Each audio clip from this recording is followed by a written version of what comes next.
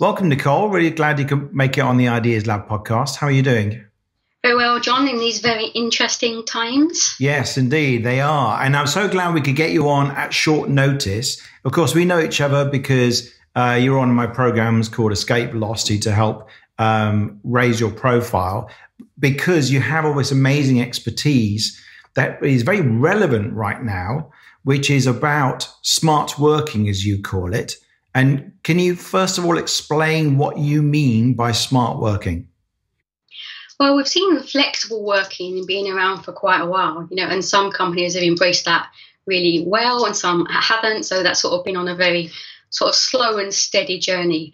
And then in some some organisations, they've started looking at it in the in the sort of bigger realm, really, as calling it smart working because they're taking into account um, furniture and offices and co-working spaces and all these sort of things. So that's sort of how this um, journey for organisations has been going. But what we've seen, obviously, with the situation we're in now, is that's sped up um, really quickly and sort of un- in an unprecedented way, and people are now being asked to go and work from their homes. Um, and they're not maybe ready for it, you know, and companies haven't had the strategy and all the discussions that they might have had. So it's how how to sort of support them really. And you recently gave a keynote speak at a big conference that was all about smart working, remote working, and so on. And and as you say, there is a massive potential. The what you know, people had a lot of interest in this before uh, the the coronavirus pandemic because there's enormous potential for saving money primarily for companies because if you don't have to have a desk for everybody, you save an enormous amount of money. I mean, is that the primary driver, or is there more than that? If we before we get into our current situation. Yeah, there is more than that. I mean, that is definitely a big driver. Saving money is important for most organisations, and whether it's public sector or private sector. But I think that some of the other drivers are for retaining and attracting um, good staff. Really, I mean, the world is changing, and other uh, people can see other organisations doing this quite well. You've got um, sort of younger generations uh, coming through the workforce, and they're maybe they're much more sort of digital savvy and things like that, and they're they're not really expecting to be nine till five sitting at a desk um, day after day. So it's just the world is changing really, and and companies are catching up. That's a really good point. I met people in Thailand and Bali, and they work for big corporations, but they work remotely, and they wouldn't be there. And they're very, really bright people. They wouldn't be there if they didn't have that flexibility. For me, there's no way I would ever go back and work in a company nine to five, five days a week. I'd, I'd rather do just about anything than do that. So um, for, for some people, that's that's really critical. But when people start to, you know, now everyone's suddenly being forced into the situation where they've got to send their staff home. And I'm seeing all, all my friends who are solicitors and stuff like that, and all, a whole variety of of, of jobs uh, being sent to work home. That brings up a whole bunch of issues, doesn't it? Because there's been a resistance in companies to allowing remote working and flexible working. And that's one of the things you consult on. Um, I guess what, what's held people back until now? Are they worried that people are just going to skive off if they go home? Yeah, I think there's there's been a few things. First, of all, some of it's been health and safety. It's always been like you know have employers got you know proper desks set up and you know those sort of ergonomic workstations and things like that um, set off set up at home which I, I always think that's not that shouldn't really be an issue because people can people can set themselves up in their own way and also you can move around a bit more if you're at home and things as well but the other thing is um, is about productivity. You know, a lot some organisations have got that sort of culture where they're worried about productivity and they don't really maybe trust their employees to deliver the things that they should be doing, or even just individual managers uh, have got that. So you might see an organisation that is quite open to this sort of flexibility of work and this, this, sort of smart working way of life, but maybe sort of different managers maybe don't feel that their teams are working unless their teams have got their, all their bums sitting on the seats. So it's it's very sort of um, different and fluid. But what we have seen now is that these sort of managers haven't got choice now. So their staff are going to be scattered to the, the four winds for the foreseeable future. So it's quite it'll be quite interesting to see how how that pans out and and also there's there's ways that we can help those managers um, get over that fear really they've got a fear of whether their team are going to deliver the things that they need to do so is that not true? Is that fear unjustified?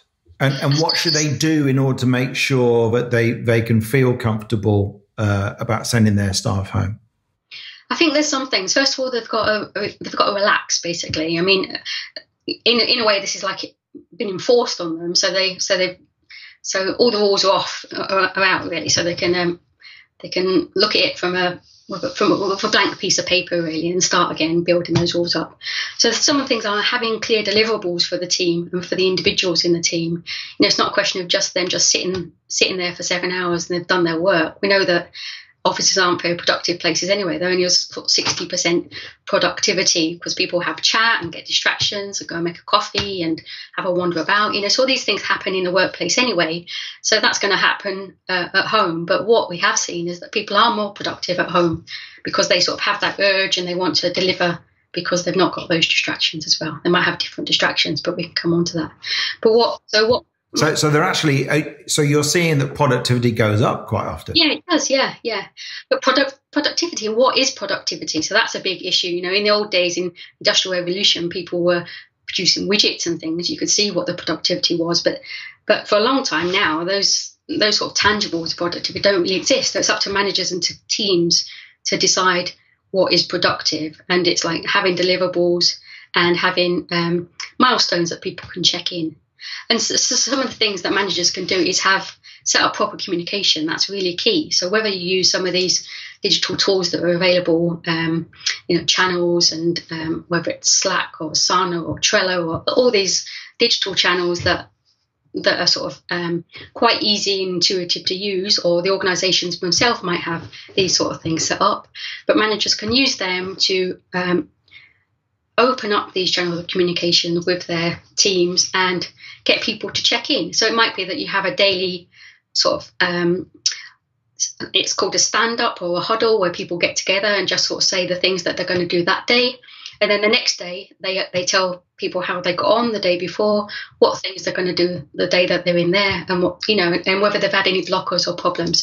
So it's opening up all those um, channels of communication and and getting people to just um, sort of work out loud. I mean, there's a whole there's a whole um, topic about that in itself, you know. But it's getting people to be open and share what they're doing, which will be hard for some people, but that does get over the the fear thing, enables trust amongst the whole team and certainly with the managers, and lifts that productivity. Yeah, and so I mean, you were saying when we were chatting earlier that trusting your employees tends to pay off in terms of productivity. Is that right? Yeah. So some of the things that might happen, certainly, I mean, I myself, my my um, kids are going to finish today at lunchtime. You know, like like children all over the country, and parents will be really worried. They're supposed they're working at home. They're probably their partner might be working at home as well if they're all office based staff. They're going to have the kids in the house as well. You know, how are they going to juggle all that? So a lot of that is having those open conversations with the managers, and for the managers being understanding and having that trust. Now it might mean that parents have to work more in the evening rather than in the daytime. Certainly, if they've got little kids, you know that's going to be a big issue. So it's like it's like managers have to relax and just look at whether just look at getting the tasks done rather than how and when they're done and that's going to be that, that's a big thing about flexible work and smart working anyway it's about outcomes rather than you know inputs and outputs so and that's really interesting and I, I remember when i was uh, invited to move to montreal and work for a software company up there but had just been sold by microsoft to the company I work for. And uh, the, the deal was it was 24 hour access. You could go into the building. It's an incredibly cool building. And um, you could go in at any time and there was no clocking in and clocking out. And people, some developers just worked in the middle of the night and that's all.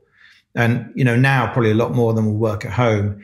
And if you're motivated, you'll do it. So, and it sounds a little bit from what you're saying that if you sort of suspect everyone's going to just mess around and cheat you, it almost becomes a self fulfilling prophecy because you set up an environment and a, a, tone where everyone just, it all feels very um, piecemeal or something. I don't know quite how to describe it.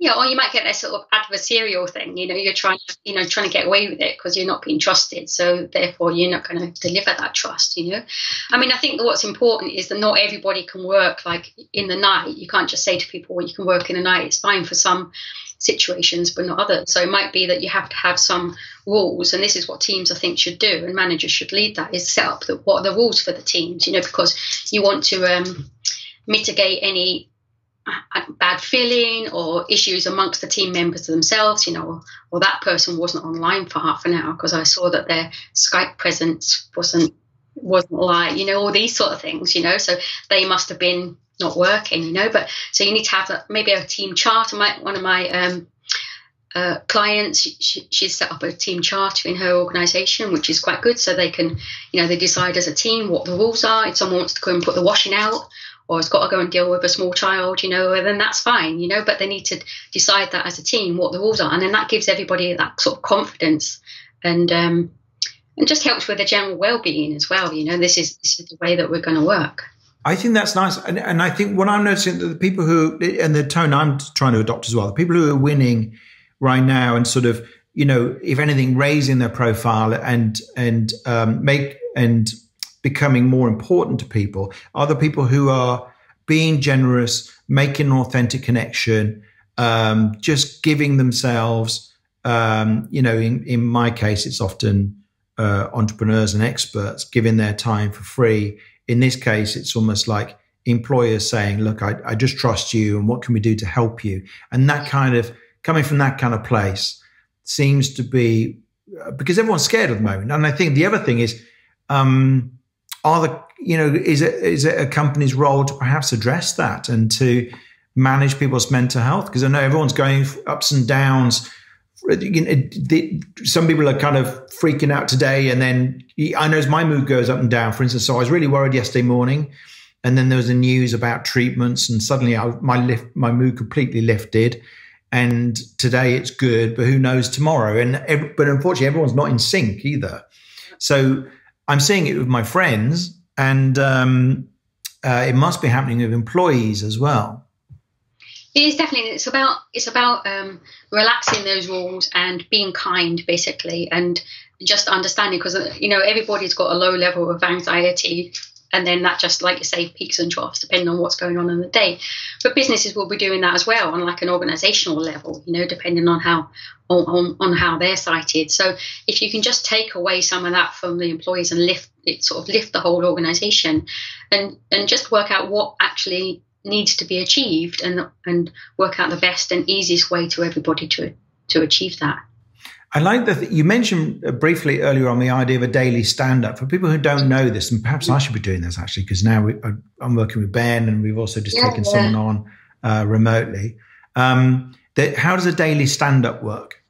Well, it might be you pick a time that's suitable for people. So um, you know, it might be 10 o'clock, you might decide an afternoon one, and then you decide how you're going to do that. So, whether that's a conference call, whether that's a video call, I mean, that's one of the things uh, about videos. There's lots of people are maybe a bit nervous about using video because they've not done that before. You know, we're on a video call just now, and it's quite alien for people. They may, might find a bit, be a bit self conscious or something like that. But but I mean, a video call for stand up is really is really good because you check in with everybody, you see your colleagues. You know, you can make it a bit funny. You can have you know five minutes at the at the beginning where you're just chatting about what's going on.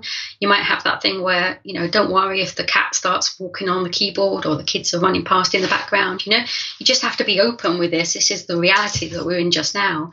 But have that call and try and you know, it's all video is best, you know, if, if you can do it, and if the bandwidths are standing up to it, which they seem to be doing just now. But have that have that um, stand up. So it might just be 15 minutes where you just all sort of say what you're doing that day, what your um, what your focus is for that day, whether you've had any blockers on the work that you were trying to get on yesterday, and just have that sort of chat about where you are in your work and how just how you know maybe top and tail it with how you're feeling and what else is going on. It's the same as that chat that you would have had in the desk at the desk, you know, but just just virtually, but with probably a bit more of a work focus than you might have had when you're in the office because it's it's just um, being more open about what work you're you're doing so that everybody knows uh, where things are, where tasks are, and knows that they're getting completed. So you might have that, as I said, like 10 o'clock every morning or 2 o'clock in the afternoon or, or whatever suits the team. I think that's a really good idea. And of course, it's called a stand up because when you're in person, the, yeah. traditionally uh, this came from agile methods, didn't it? And, yeah, and stuff like that, uh, project management uh, approach. And um, they would literally stand up. And I know a lot of buildings now, a lot of corporate spaces with shared desk space, they have stand up meeting areas and everyone just gets around a table. And the point in standing up is you don't want to stay there too long. Yeah, as soon as that's people right. sit down, they start kind of, you know, going into relaxation mode. Yeah, and it just lasts longer, doesn't it? So the idea is it's a quick, you know, quick, sharp meeting, just get the points over, and then everyone goes on their way, which is really good. And I mean, that's probably one of the benefits that's going to come out of this is less meetings in general, really, more focused meetings. And it might be that you don't have, um, you know, so many big group meetings apart from maybe that huddle, but you might have more one-to-one meetings, and that's something that managers should be um, helping their staff with. Is that you know, don't feel if you want to. Um, Skype someone to just ask them a bit a quick question, or in the afternoon just have a quick video chat with one of your colleagues, then do that. You know that that's perfectly um, useful and advisable to do. Just have that connection, have a chat, talk about your piece of work, end the call and go on. You don't have to wait until the daily stand up to have you know discussions with your colleagues. You can just be doing that on and off throughout the day. Yeah, and often, you know, if you've been used to emailing people, and don't email things that are super super complex that you can resolve in a two minute call or or five minute video call. Yeah. And yeah. You, we you talked about call um, tools earlier, and I think you mentioned Slack and Asana and um, something else. Just want to give us a sentence or two about what those are for anyone who doesn't know. But they're all sort of real time communication tools. So so they're sort of like they have things like instant messaging built in, same as sort of Skype and Microsoft Teams. Lots of organizations are rolling out Microsoft Teams as part of their Office 365 um, sort of rollout. Certainly, big corporations are, and they're all sort of similar things. Slack and Asana and Trello, they've all got um, sort of free versions really and then paid for versions. And they all do similar things. So it's really they've all got pros and cons but they're all um, quite nice tools to work with. So you might have a project space or you might have sort of instant chat as well. So it takes some of the pressure off of email and everybody can see the whole chat. So if you do end up having a day off or you know you, you can come back in and pick up and see where the team where the team is with the with the project chat, for example, if they're talking about a particular project.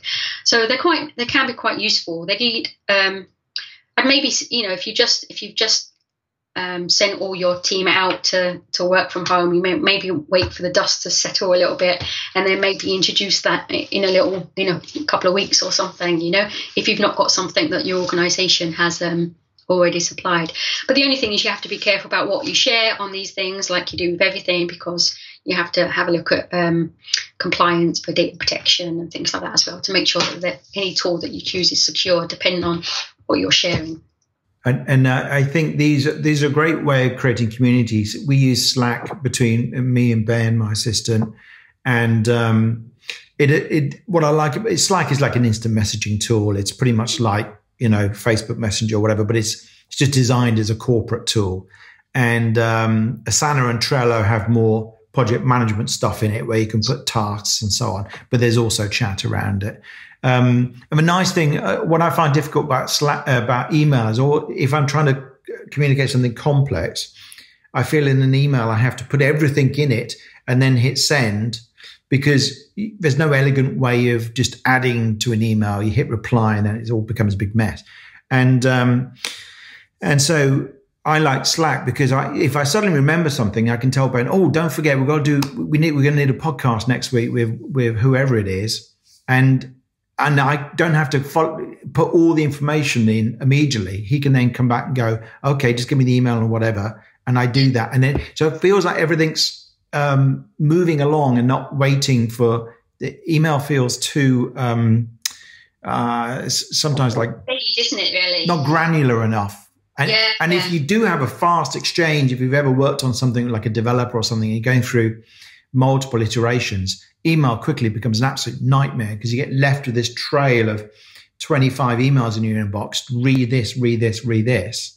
And then you've got to work out which ones you you're still supposed to be reading and which ones you've already dealt with. So Slack has an advantage um, uh, over that, but it, I guess it even needs. I, I like that tip of don't immediately send everyone home and tell them to install Slack for the first time because they've got to adjust to being at home and all the stuff around that. You know, Skype or Zoom might be a big enough jump for them. Um, but to then say, because what you'll end up with is some of them will be on Slack and then some won't have installed it yet. And now half the people are missing the conversation, I guess. Yeah. Yeah, yeah, that is, and so you want to be inclusive and that as well. So if you end up having a Skype conversation and helping someone set something up, and then, then that's quite useful as well because you want to keep everybody included. But um, but you're right. Um, uh, you know, Slack and things like that are much more conversational, really, and much more intuitive in how humans really interact. The other thing that you can do with these tools is you, is you could have one that's set up for uh, just general chat. You know, so I've seen quite a few set up just in the last few days, and and you know, if you're working at home, you're usually quite a uh, you know, things are quite quiet and you're just working away. And I have to turn the notifications off because there was so much stuff coming on all the time in these different channels because people are just chatting about working from home and what it's like. And, you know, just, and so you can have that as well. You know, there's, there's so much socializing going on as well online now. It's quite nice, you know. Yeah. And, and it's important to continue that sort of water cooler chat. So we have, there in Slack, for instance, there are uh, topics of conversation and all the different projects going on uh, in the Ideas Lab has a different channel. But there's also one called Random where Ben and I send each other sort of memes and funny articles and and stuff like that.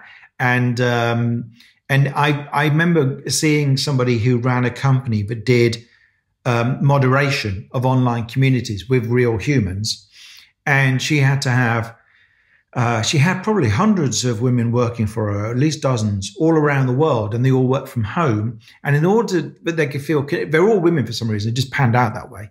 And she, uh, she was a female entrepreneur, and um, and it suited them working around kids, I guess, uh, the ones who were mums.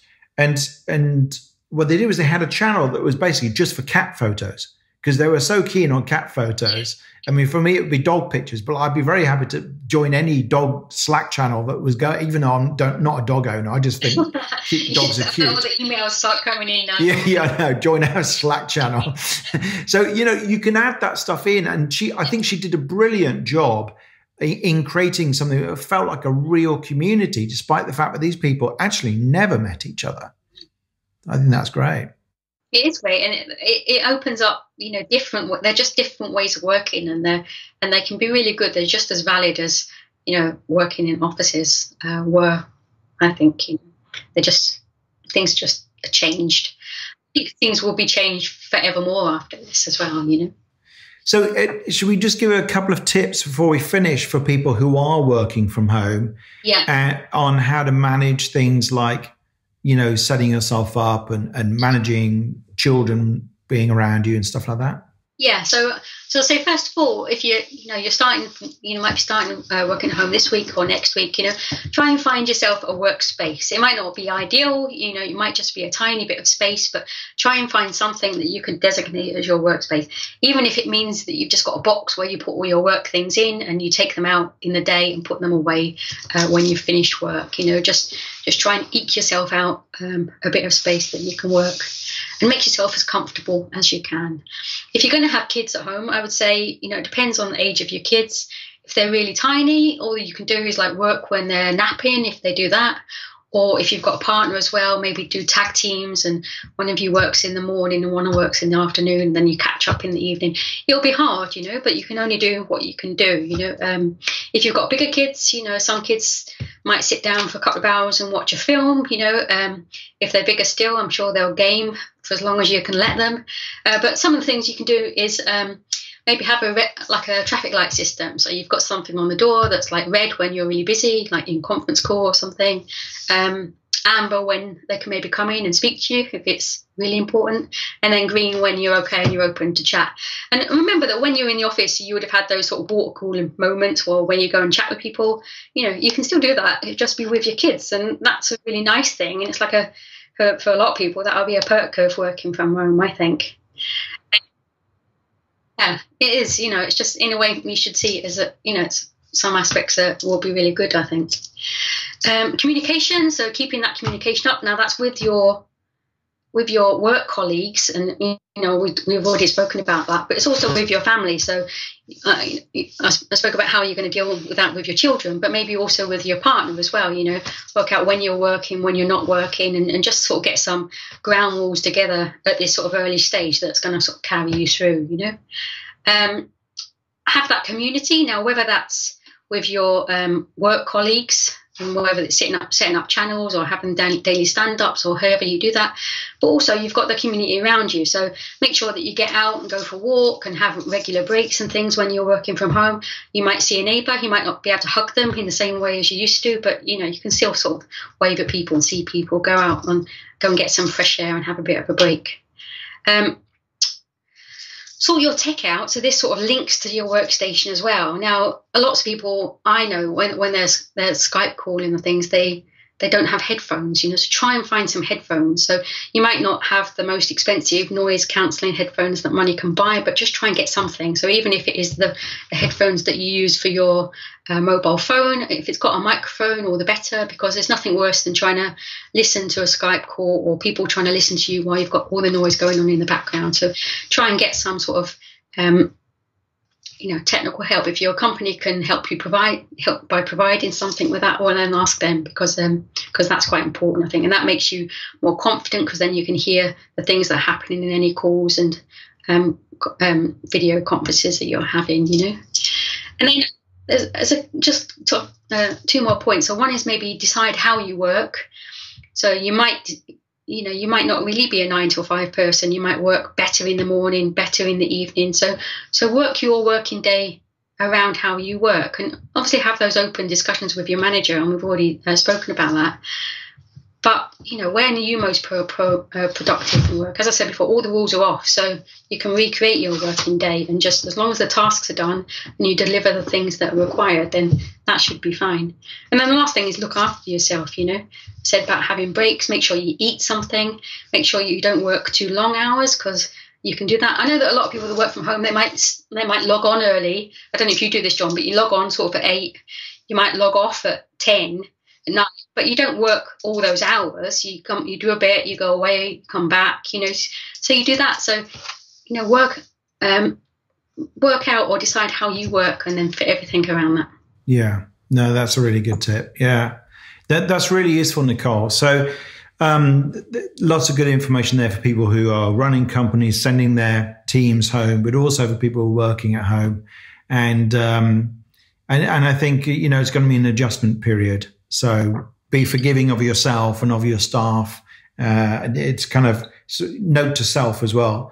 Uh, well, I mean, I'm not really adjusting that much because I work at home mostly anyway, but but everything's so up in the air. But there's still a sort of adjustment period of, of just getting your head around the, where the world is right now. I mean, your your situation will have changed as well because you can't you can't go and work in your local coffee shop in the same way that you would have done. Just go for wander down the street and do the same things you would have done, or go to the gym and things. You know, things change for everybody really. So it's just you know cutting yourself some slack really and relaxing into it. Yes, yeah, be kind. You said earlier, and I think that's a really good tip.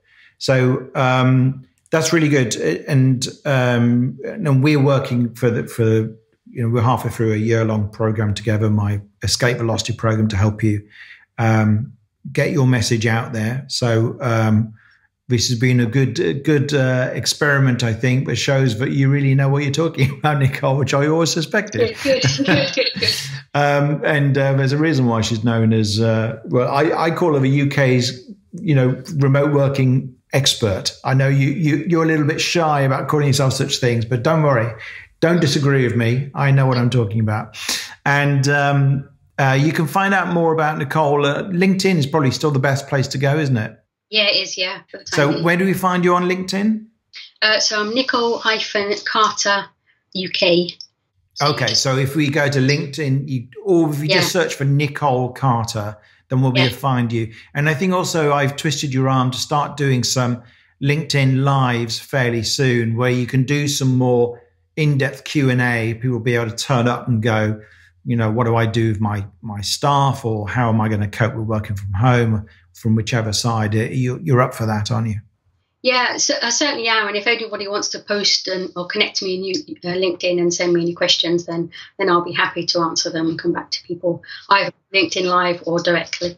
Yeah, no, that's a great idea. So just connect with Nicole Carter on LinkedIn and start doing that. So thanks very much, Nicole. I really appreciate that. It's been it's been great. Thanks so much.